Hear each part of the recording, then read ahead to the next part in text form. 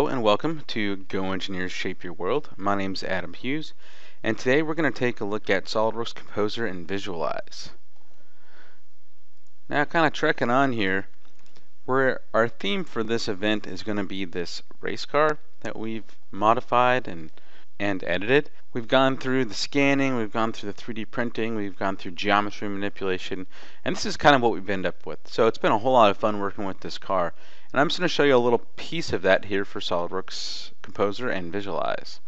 So the current workflow to your process may be something like this. You, know, you sketch something up, you 3D model it, you make sure it fits on your part, and then once you got that down, you'll manufacture it, CNC cut it, or send it out to get to get made. Photographs are usually taken in if it's something you're going to market and sell, and then it goes to marketing and sales. And typically that can take an extremely long time. So what we propose is to add in the functionality of Visualize Composer early on in the process so you can start the marketing and sales information and all that delivery to the customers while you're generating the prototypes and manufacturing the, the, the components, thus shortening your overall time to production and increasing return on investment and making everybody happier, right? That's the ideal scenario. So here's an example of SOLIDWORKS Composer. Now I have some visuals here. We're going to jump into the software. But I just kind of wanted to give you a heads up. Say, hey, look, you can create this parts list type BOM, right? We can create these instructions where you can see arrows telling you how to remove things or how you know how things come apart, really illustrating exactly uh, the steps needed to do this necessary option. In this case, disassembling the shock. So let's go ahead and take a look at SOLIDWORKS Composer. Alright, here we are. You notice it looks a lot like uh, Word, right, with the ribbon at the top and, and the different tabs. And here our goal is to create technical documentation, this rich technical documentation. So it, sometimes it's kind of easy to take a look at the original technical documentation. So here's a parts list for a car. Uh, not a whole lot of pictures, right? We can probably illustrate some of this stuff faster to our customers so they can find our parts and place that order. So that might be our goal here. Just make instructional documents that our customers want to read. Here in this case, we're going to actually look at the disassembly of the shock here. And what you'll notice is that you know, all these other steps look okay. One, two, three, four, five. I'm kind of showing how the, how the shock is disassembled. But then step number six isn't quite what we need. And you can see it's not black and white either, so it's not saving us any money on print. So I need to go to SOLIDWORKS Composer and edit my step six. Sweet, let's go ahead and do that. So here I see each of the steps I've created in step six. Oh, yep, it's not quite right. So I need to start removing some stuff from this because it's already been removed in the previous step. So we're going to go ahead and choose not to show those things. Oops, don't want this guy either. And we're getting pretty close. Alright, so the next thing I want to do is, is a quick linear explode. Now this this is a whole lot of fun. You got to think in SOLIDWORKS we have mates and all kinds of different things. In Composer, these are 3D objects in space, so we can just go ahead and pull them apart as we see fit. Here I'm going to use the Alt key. That's just a little trick. If you're if you jump into Composer, the Alt key would allow you to linear explode these things in a common direction. So that direction is going to be the axis. And here, they probably need to go this way. Um, okay, I'll let that slide for now. And then we'll go ahead and move this downward. Again, by using the Alt key. It's just a quick tip for you guys if, if you currently use it. There we go. That looks better. And that's kind of how the the inside of the shot comes apart.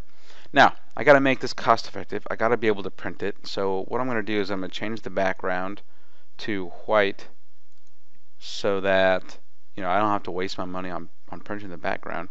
And then the other thing I need to do is I need to change the render capability, the render of this shock. So if we go to our render tab, we can go to mode and then select silhouette. But notice there's a lot of other really great uh, rendering profiles that are here too if you like. So okay, we're getting closer. Like that. Now we need to illustrate by which way all these things came apart. So I'm going to grab my arrow.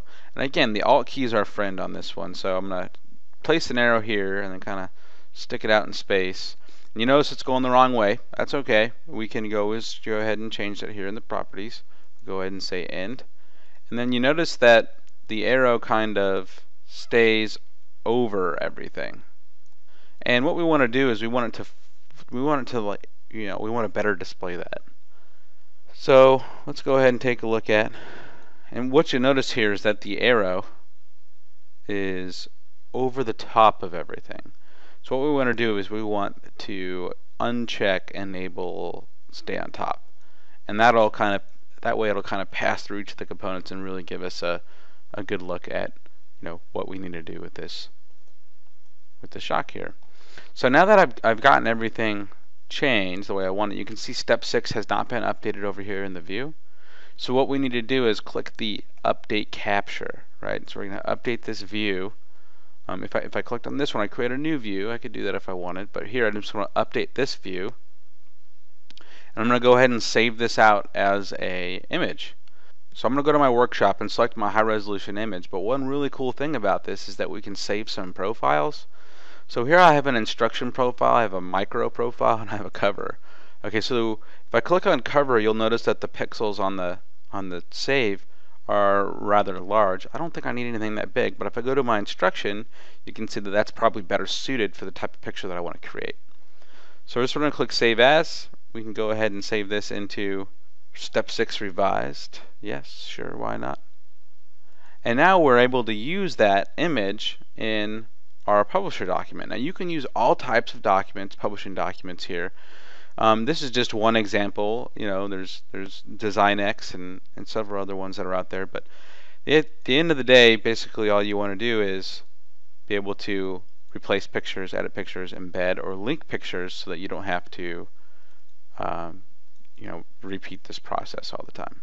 So when I insert, insert my step six, you can see that it kind of follows the flow much much better here, and we see, you know, hey, look, these are the these are the steps to uh, disassemble the shock, and then, you know, when you put it back together, function test it, move it up and down, and hey, you have your technical documentation finished. Sweet. So let's go ahead and showcase a lot of the other great features of Composer. So I have this initial car setup here. And one of the really cool fun things I like to do, I might not necessarily use it for technical documentation or instructions or anything like that, but it really helps me dive down into uh, the car itself. I like to box everything and then go to my transformation tab. There's this there's a spherical explode that we can use. And the idea here is that we can just take all the components and blow them apart so we can see what's inside of them. Now, like I said, this this isn't probably the the best uh, the best view to use for customer facing information. So here I'm going to go ahead and capture the view, and if I wanted to look at this chassis, all I'd have to do is click show, and it would automatically fit it to the screen. All I'm doing is choosing to show it, but then now I can capture this view as well and say we've enhanced something on this. Then I can go back to my parent view over here in my view tab and select some other components. Hey, we've also made some significant changes to the chassis. So we can isolate the chassis from that previous view and then again capture a view. Maybe add a note even if we wanted to. So if we go to dictate to the customers that hey maybe you know there's been some some topology change here and uh, you know we, we want to tell them that hey look this is an improved component we can go ahead and select our note and modify change our text And then we can easily change the scale of this and maybe even how we show the customer where it's attached to. I like this arc tip. It's kind of fun. We'll update the view and then now our information is being passed along. Another really great thing is the capability to make that parts list, right? So here we have a shock and we need to dictate to the customer, hey look, this is what each component's named, and here's how many of you need per shock set. So we can certainly do that in SolidWorks or in, in Composer, but remember that this is not SolidWorks, so it's not the same bill of materials per se that you would generate in SolidWorks. This is more of a parts list where a bill of materials is like a manufacturing list. But let's just take a look. So I'm going to go ahead and generate the uh, the BOM IDs here. All, all you got to do is a single click of a button. And what you're going to want to do is show BOM table here at the bottom. What you can see is all the components with some nice highlighting uh, of what's what. So let's take this one step further. Let's go ahead and select our complete shock here and go ahead and create the callouts. So what we're going to go ahead and do is change how the balloons are displayed. So here we're just going to make sure they go to the left side. And if I wanted to, you know, I could have some up here. And what's really great about this is the magnet line that, that we also see in SOLIDWORKS is available here in uh, Composer. It actually started in Composer first. So all I'm going to do is pick up all of these balloons and I can kind of add another magnet line. So that's really neat. You can really make some awesome parts manuals just dictating, hey, what's what. So I'm going to go ahead and update this view and move on to the last step here and that's really the update capabilities of Composer. So we're going to take a look at the actual SOLIDWORKS model now. And one thing you notice is that this little cap here has two configurations, coilover and default. So if I go ahead and hide the body and we change the shock cap to a coilover, looks awesome in SOLIDWORKS, but we haven't transferred that information to Composer yet. So I'm going to go ahead and save this. And then dive into Composer and then choose to update the document. And I'm just updating it with the SOLIDWORKS file. So I'm going to click Update. And after you know a couple seconds here, what we're going to see is the shot cap come in and update my Composer manual. This gives us that reciprocity between SOLIDWORKS Composer. You could be manipulating and editing your SOLIDWORKS file all the while while I'm creating my technical documentation. And if you happen to make changes or updates or add parts, it's no worry because we can always go back and update the model. Update the Composer model with the actual CAD model. And what we see here is the updated shot cap and our instruction manual is now up to date. Awesome. So let's go ahead and dive into this next bucket. We're going to go ahead and look at SOLIDWORKS Visualize. So this image here is the, the Hydra car from Captain America, but it doesn't really exist other than in the movies, right? But we've certainly made a render of this guy. Now, this is something, this is some of the capabilities you'd be able to tap into in the SOLIDWORKS Visualize Professional package with the advanced lighting, the uh, turntable, and camera motions and sweeps. But before we rendered this, this was a CAD model, right? That's all there was to it. So let's go ahead and trek on. What you need to know is that SOLIDWORKS Visualize Standard actually comes free, or included rather, with SOLIDWORKS Pro and Premium. So if you're a Pro and Premium customer, you already have SOLIDWORKS Visualize. It's just the standard version. If you want to jump up to Professional, we also sell that too. You support it. The biggest difference between the two is you see one has a static camera icon on it and the other one has a motion camera icon on it. That's kind of a good summary, but really one thing's missing from that bucket. SOLIDWORKS Visualize Professional has a lot of productivity tools in it. So with advanced queuing and network rendering, you can really save yourself a whole lot of time and not have to wait for paint to dry or water to boil per se. So think of SOLIDWORKS Visualize as the camera for your CAD tool, right? Taking those really awesome pictures to let people know that, hey, this is a real product, but it's also engineered too. We're not just drawing things in space and crossing our fingers and hoping it works. So my favorite one there was the camera, where you can show, hey, there's some CAD information to it, and then here's the the uh, the good looking end result and component. So let's go ahead and take a look at SOLIDWORKS Visualize now. and we'll kind of jump into this bucket. So I've already gone ahead and imported the model. One thing I want to show right off the bat, just because I really think it's going to help customers, um, is the import process. So here I have one import process and I've changed the import scheme to import based off color. So what you'll notice here is that anything with the same color is technically the same part.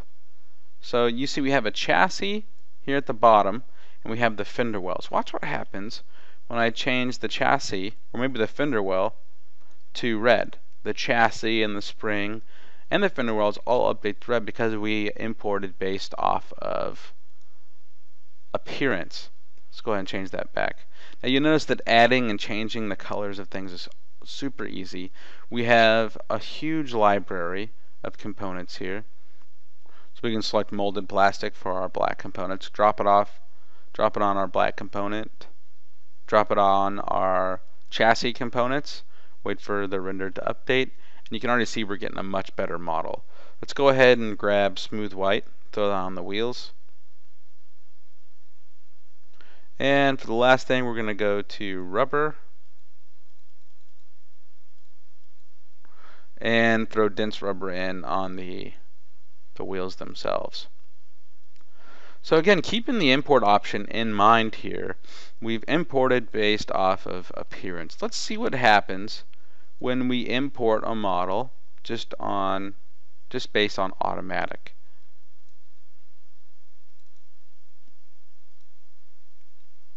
One really nice thing with SOLIDWORKS Visualize is that it opens a plethora of products. Everything from Rhino to Autodesk, PTC, CATIA, ProE, Inventor, SOLIDWORKS. All, time, all kinds of files can be opened up here so that you can create and edit and render.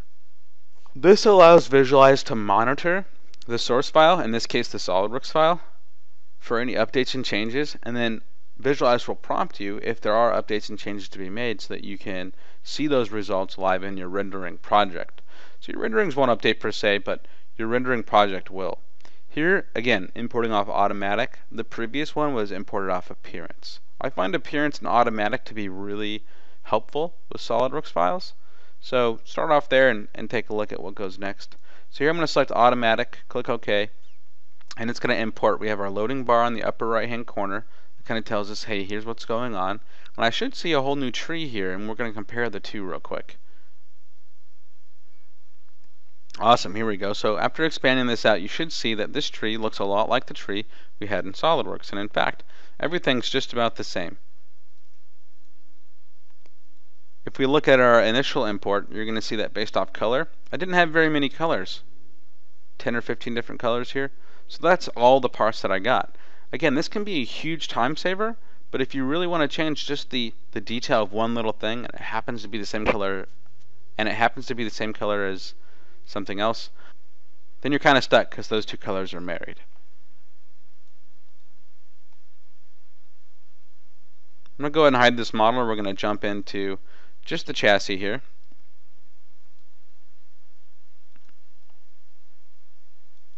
I'm going to get this just right. And what you should be able to see now, let's go ahead and change the molded plastic, and I can do it just at, of the body. I'm going to go ahead and make, I'm going to go ahead and make a custom plastic actually. So I'm going to go back to my plastic parts, select, oh, what do we want to do? Let's do rough plastic. We're going to drop it on that guy right there. But when I go back into my appearance tab, I'm going to go ahead and find this rough plastic. There's my rough plastic here. We're going to change the color of this to that green that I like so much. There we are. So now we can get a molded plastic green. We're kind of going to trick this chassis out. Now, one little tip and trick is if I select a component hold the Alt and Shift key plus a right click drag and drop. I know it's a lot, but this is this is the way it's been for a long time. Uh, you can copy your appearance without inundating your tree over there on the right hand side. So let's go ahead and grab that. Perfect. Got it all in there. Sweet. Looks fantastic. Okay, let's go ahead and grab our smooth white. Let's go ahead and throw that on our wheels. Now we're going to have to do that for each one. And we'll use that dense rubber again so we don't get this shine. Looks like those are plastic wheels. Could, those would hardly get any traction. Who would want to buy that, right? that's kind of the idea is, you know, you're, you're marketing this. This is your marketing tool. Let's take this to the next step. So now that we got everything colored the way we think we want it, the next step is to place this into a scene. So we also have a library for our scenes, and one of the things that I really wanted to show for both appearances and scenes actually is that we have this local drive and we have this cloud drive. So if you're connected to the internet and you want to go to the cloud to look for new material, if you click on like say the automotive package, anything with the green check is going to show you stuff that's on your local drive, anything that doesn't have it is something that you can download and add to your local drive. So if I wanted to, you know, grab brake rotor, right, and place it on my shot cap, I could drag and drop it on there, and you're going to see it's going to start downloading in the upper right hand corner. Now I don't want to do this, this might take a second, so I'm going to cancel it. But that's exactly how it would work. The same things go for our scenes as well. So if we hit the drop down and go ahead and select our environment, we can grab all different kinds of scenes, and you can see I only have a few that are on my local drive but you can grab them and download them and save them so that you can use them on your next project. So here I'm going to go to my local drive. We're just going to go ahead and use Dazzler. I seem to like this one a lot. Actually, you know what? Let's not. Let's do change it up a little bit here. Let's go to Gravel Pit. Why not? This thing's going to be an off-road little buggy, right? So I'm going to grab my Gravel Pit, and I've chosen to use the lights from my Gravel Pit right now but I haven't, I'm not using the picture and that's because my backplate is on. So I'm going to select my backplate and make it not visible. Now I'll be able to see my environment. Let's go ahead and get this position just right here and rotate it around. You can probably see that, hey, there's, this is probably a really big car in comparison to the picture. So if you select your gravel pit, one of the things you can do is scale the background image. And I'm just going to say that the image is, let's say, something like 5. And now how does that look in comparison?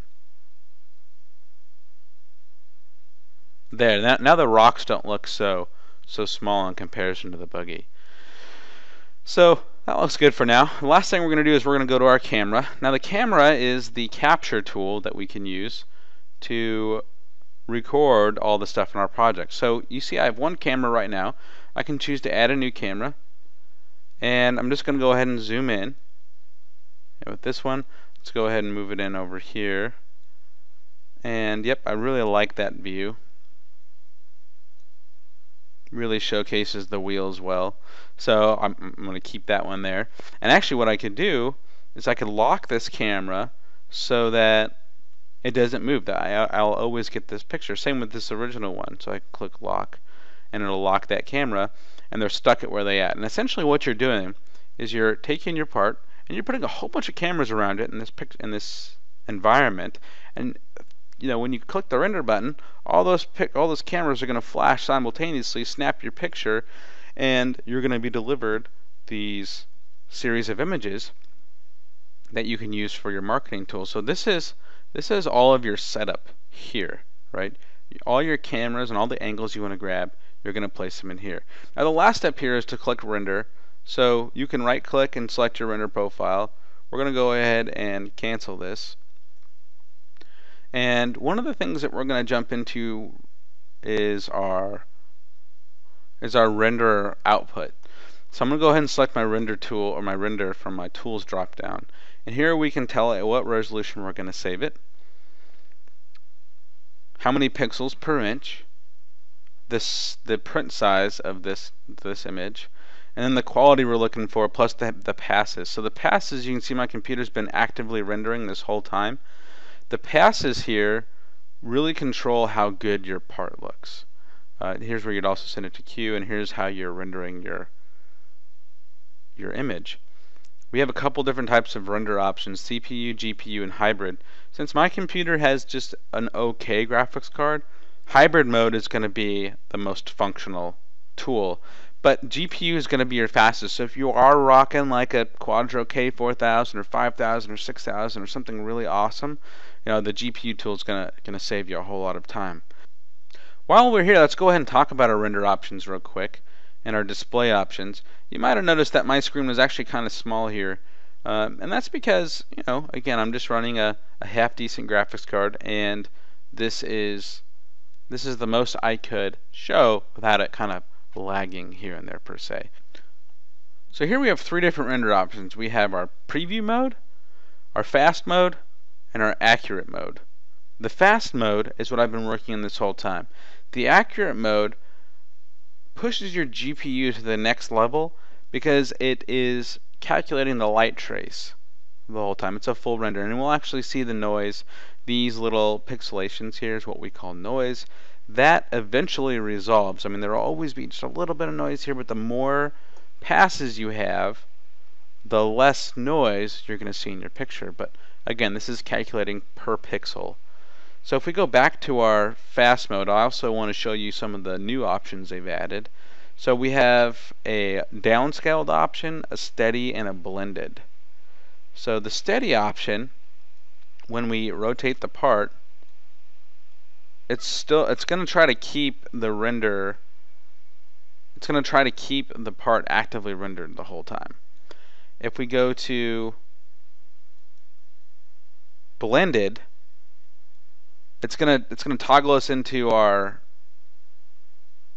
base or it's gonna toggle us into our preview mode so that it doesn't so that as we rotate the part it doesn't impact our computer's resources. The last thing is downscaled, which I find works really well. Um, that's just a little bit of chatter. So when you rotate, there's a little bit of chatter. It's trying, it's it's keeping everything the way it is, but it's not doing a full uh, a full render until you release it, and then it starts rendering that back up. A couple quick tips here. This is your select tool, so you can select based off appearance, or model, or part, or group. And the last thing here is your spacebar button. Brings you from your simple UI to your traditional user interface. Everything I've done here for manipulating the part is a combination of the Alt key plus the center mouse button and the left and right mouse button. So Alt left mouse does your rotate, right mouse does your zoom in and out, center mouse is your pan, and if you scroll in and out it's your perspective. So I'm changing the perspective of my part. Great, I've actually run a couple renders. Let's go ahead and take a look at what these look like. Alright, so here's my first render. Here I chose to keep on the body. I added some illumination to the headlights and then put brake lights in it. You can't see the brake lights because they're back in space, but you can see them glowing on the shock. Pretty cool. Let's go and take a look at the next one. Here's just more traditional render. We removed the body, added the white. We here we can see the the matte uh, finished rubber. And this last one is kind of the whole body. There's my brake lights, there's my headlights that are illuminating, and there's the body that we've created with the decals that we added in SOLIDWORKS Visualize. So now the last thing that I that I really wanted to to talk about here is that these two products, Composer and Visualize, can actually be bundled together really well. And they complement each other because one does awesome pictures and one does technical illustration. But why not have both in one document?